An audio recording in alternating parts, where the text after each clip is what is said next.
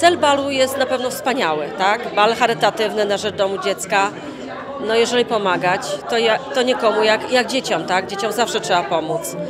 E, impreza rozkręca się dopiero. Sądzę, że będzie na pewno wspaniale, ekscytująco i mam taką nadzieję, że zgromadzimy bardzo dużo pieniędzy dla dzieci właśnie.